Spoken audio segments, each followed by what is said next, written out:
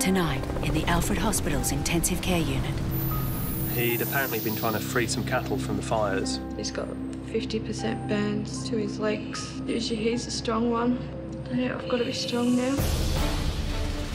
I saw the car, which gave me a terrible fright, was totally crushed.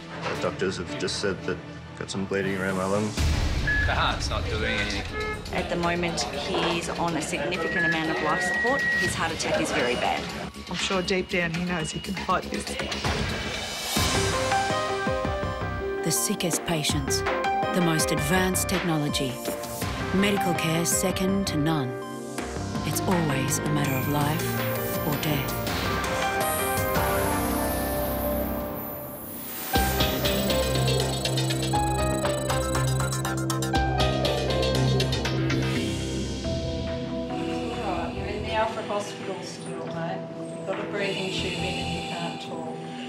John came into the ICU actually on Sunday morning.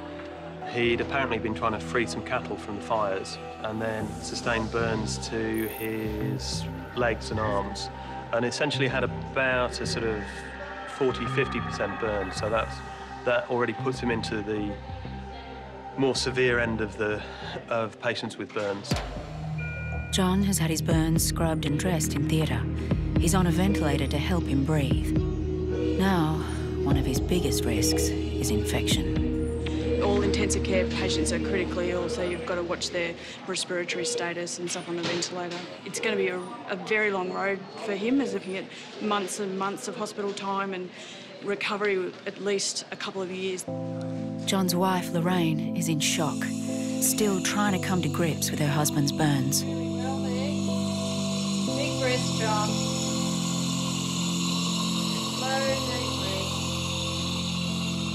He's got 50% burns to his legs and his arms, um, the back of his shoulders and up his neck. Just hoping that everything's going to be okay. 'Cause usually he's the strong one. And usually I stress out about things. But yeah, I've got to be strong now. Conscious, is he? or Yes, not? he is. Is he? Waking up a lot Is he? more now. Is he? Yes. Yeah, I'm gonna talk to him. John got burnt trying to save Ian and Judy's daughter's cattle. Jono. My daughter Kylie met him as he got out to her place as the fire was coming towards it, and the fire suddenly swung and changed direction and came straight at them. John uh, ended up running in with the cattle through it all, and uh, he was transferred down here to the burns unit. And you know, anyone in with a spot of bother, John's there, and that's the type of bloke he is. He's uh, a terrific bloke.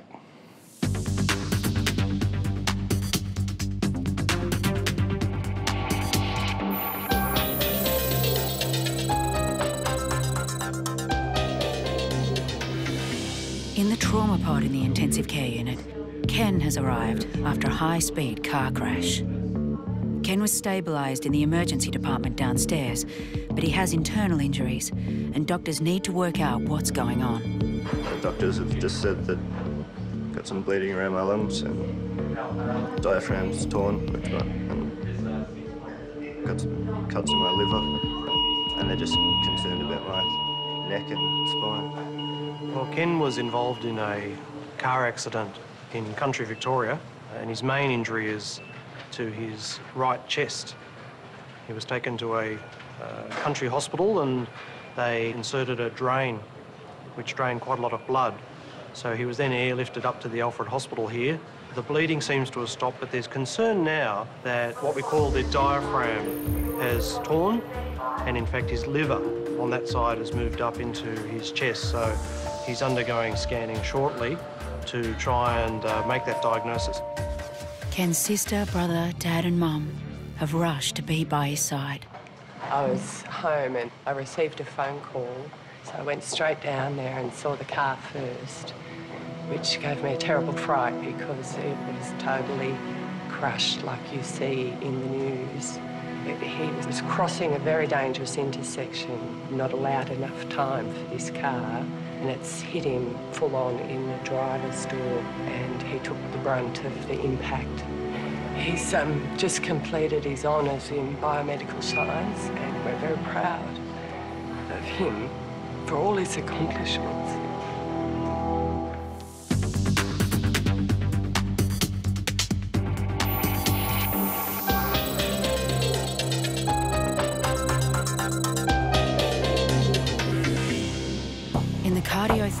Pod, Paul has arrived from another hospital after a massive heart attack. He's 50. He's actually never known to medical services before.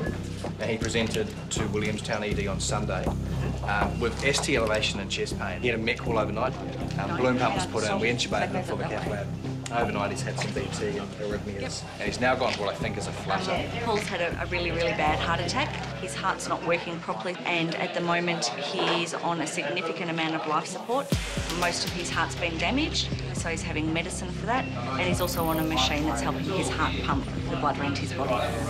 He was at home with his mother and developed pains in the chest. He was quite aware of what was going on, um, and so he got himself to hospital very quickly, which was very good, but unfortunately, his heart attack is very bad.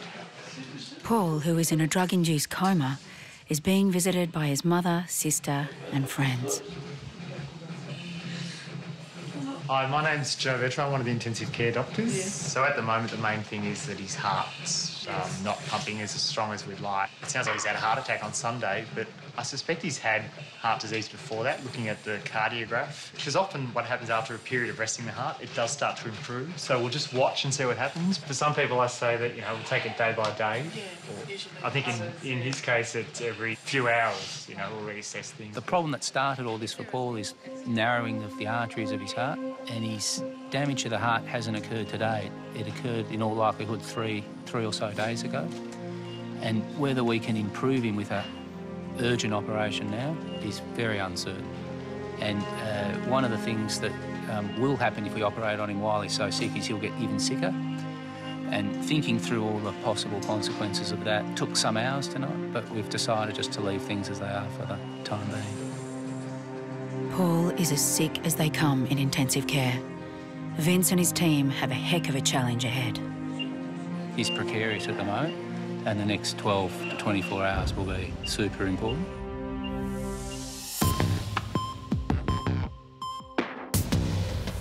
Well, just the legs now and a hand. In the Alfred's intensive care unit, bushfire survivor John is back in theatre so doctors can see how his burns are going and if previous skin grafts have taken. John's already had some initial debriding and grafting of burns to his lower legs and to his uh, left hand. So now we're taking him back for a dressing change with much belief that the grafts have all taken and look good. And now we're sort of moving on to completing debriding all of the dead tissue which still remains and then hopefully be finished with the surgery for now. Sometimes these grafts don't work because, because patients are so sick and they can easily take some steps backwards and have infections or get sick at any time. Burns are bad. Out of any patient you see in an intensive care unit, it will always be a burns patient that you remember. If it ends up being a 50% burn that comes in, quite often the 50% that's not burnt ends up being used for donor sites. So you basically end up with, you know, 80, 90, 100% of a per person's body needing dressings.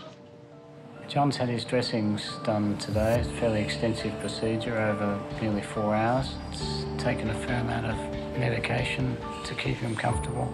We're letting that uh, wear off and we now look at hopefully in the next 24 hours or so to see if we can uh, extubate him. It's okay, John. It's okay.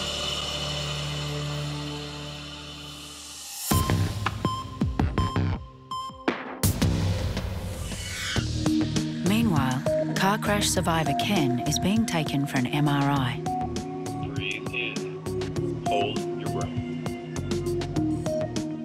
Ken's liver normally is in the abdomen and has been pushed right up into his chest through a hole in the diaphragm.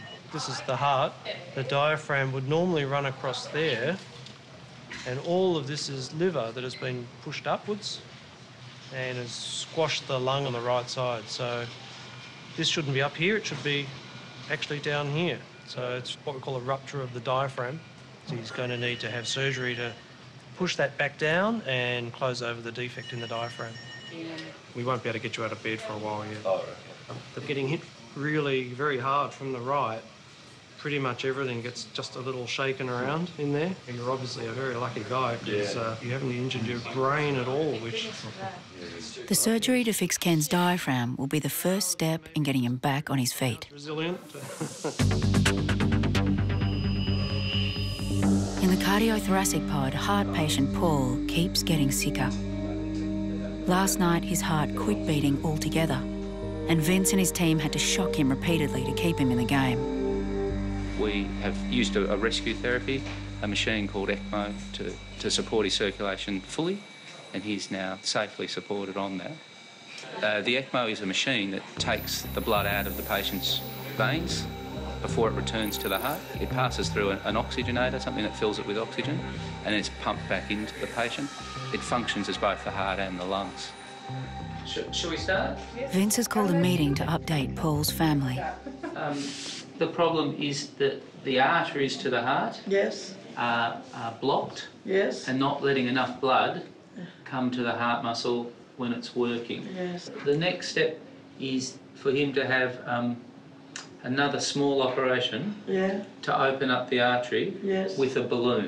yeah. I know. A- angiogram She and then, knows a, and then a angiogram. balloon. Yeah. Αγγιογράφημα και Ναι, ξέρω, καταλαβαίνω. Do you understand? All right. Do you have any questions? Καμιά ερώτηση? Τι να του πω, ότι καταλαβαίνω Can I να say, σκάνω. do whatever you think is best? Δεν ξέρω τι να πω. I don't know what to say. Πρώτη φορά It's the ρωτήτε. first time he's been ill. Never First sick time. before, never, never sick before, never. We're, we're doing our best. Ό,τι μπορούμε το καλύτερο. Ναι, να κάνουν ό,τι μπορούν να τα κάνει, ό,τι μπορεί. Do whatever you can. I've lost my husband and the thought of losing my son is difficult for me. We'll see. Δεν τώρα είναι το δεν μπορείς. Fine, thanks for your time. He wants me. All right, thanks very much. Doctor, everything. Paul is terribly sick. His mother is hoping for some divine intervention. Someone gave her this oil from, it's from Jerusalem, just like a blessing for him, just hope for a miracle. I'm sort of still optimistic, knowing that he's in good hands and everything is, they're doing everything possible for him. That if anything, they'll pull him through, and with his own mind, he would he will fight himself because he is a strong character, and I'm sure deep down he knows he can fight this.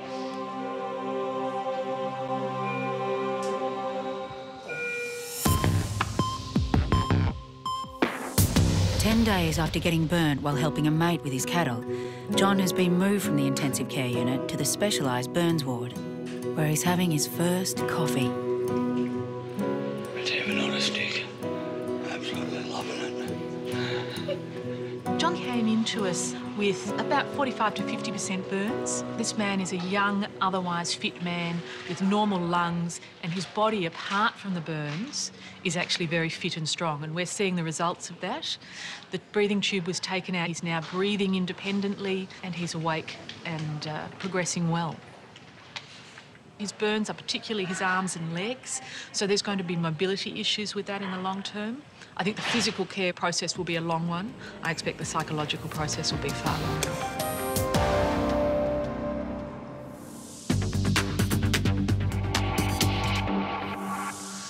In the Alfred's intensive care unit, Ken's off to theatre after tearing his diaphragm in a bad car crash. Ken has ruptured his diaphragm, which is the layer of muscle that separates the abdominal contents uh, from the chest contents, and it's very important in helping you to breathe. He's quite lucky in some ways because the amount of force that you need uh, to have sustained in a car accident to cause this injury usually results in a lot of other injuries in the ab- abdomen, uh, ruptured livers and ruptured spleens and things. So it's, uh, he's been fortunate in some ways that this is the only serious injury that he's got. Uh, what we're going to do today is we're going to put a little telescope into the chest just to confirm the diagnosis.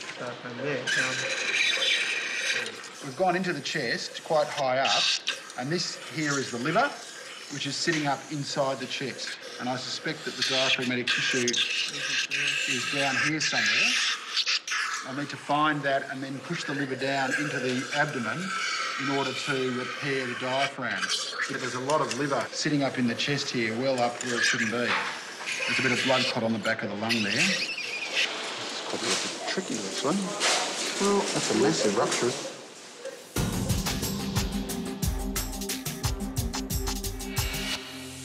Three weeks after coming to the Alfred, John's burns are healing well, but the fire is still fresh in his memory. We thought we'd go and let those cows out of the paddock. So I went down and cut this fence and I heard, heard this mighty roar.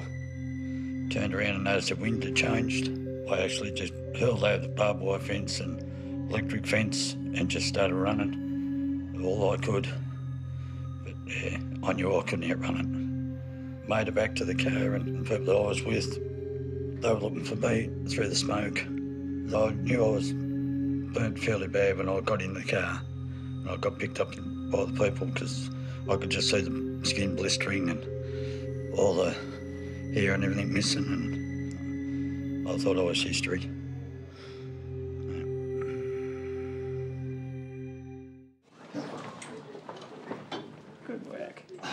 Just three days later, John is making remarkable progress. He walked to the elevator and then got in the wheelchair and had his physio and then he walked all the way back. So today was a really good day. So much live. John certainly so motivated. He's one of the most motivated patients I've seen, and I didn't expect him to get up and, and start walking around so quickly just in the last few days. Let's try 10 of those. Oh, it's still a little bit scary because we've got a few more bridges to cross to get home and coping, you know, without the physio coming in and pushing him. They said yesterday that he, he might be um, going home in about three weeks. So that's pretty exciting. Good. Excellent.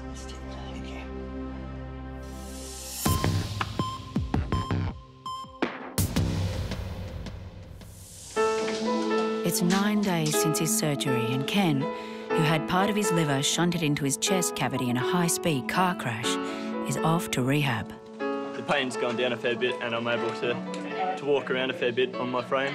See you later. Well, I'll definitely um, drive a lot more carefully from now on, that's for sure. I was just really lucky that my injuries weren't any worse than what they are. So yeah, I think I'll um, be a lot more appreciative of, uh, of what I've got now because a lot more could have been uh, taken away from me after this accident.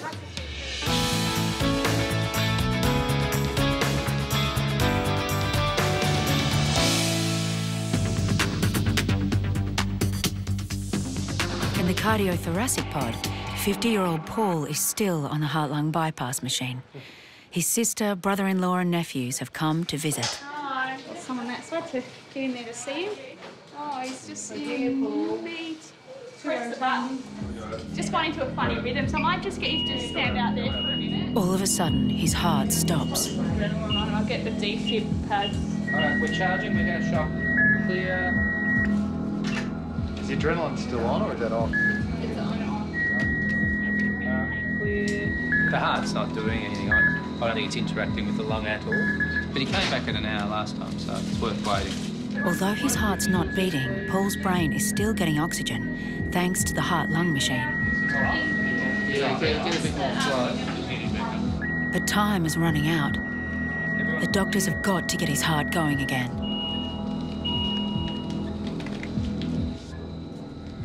All right, we're charging. We're going to shock. Clear. It's been about half an hour. We're into it. No, no hey.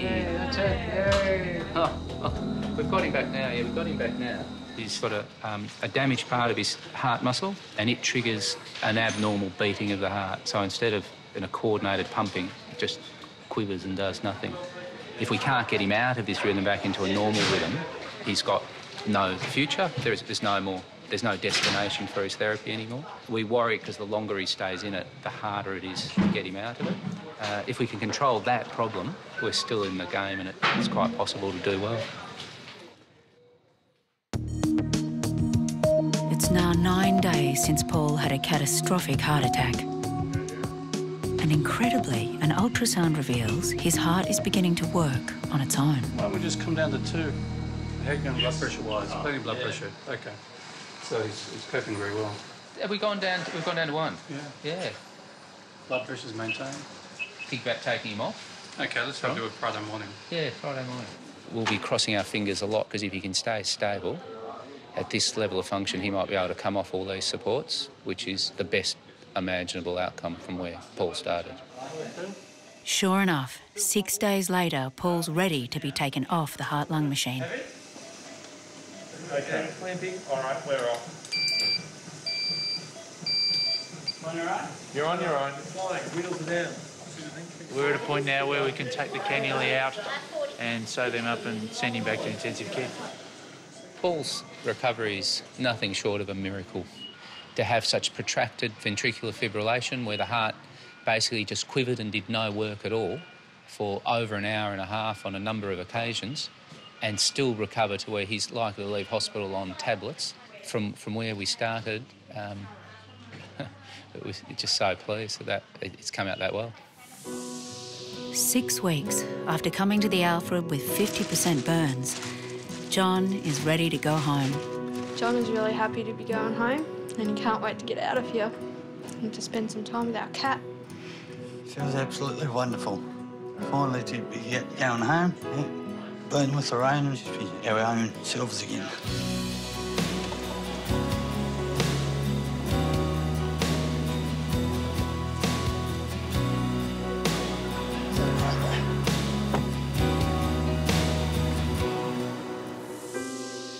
Month has passed, and Paul is now very much alive. In the ICU, all I recall is tubes were hanging out of me, um, doctors were surrounding me, and I could hear voices of my family and uh, some friends that were there too. Yes, now very happy for Paul, right? We very happy for everybody, doctors, sisters, everything. Look after good for my son.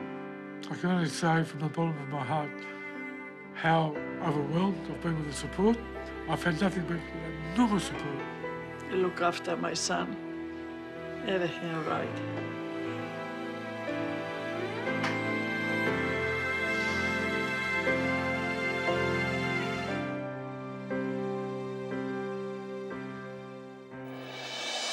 Next time in the Alfred's ICU. Simon, can you give my fingers a squeeze? This is a seizure. A fair proportion of epilepsy we still can't control. Even though we've been in hospital thousands of times, it's still a shock to see him in this state. She's lost a lot of blood. She was a passenger and the car was hit by a ute. She's very unstable. The area where they've taken the bone off, we can literally see that swelling. She's still my little girl. You in with the ICU doctors? Despite the fact he's never smoked, he's developed this chronic lung condition. Preparing ourselves for the worst, we were actually talking about a funeral.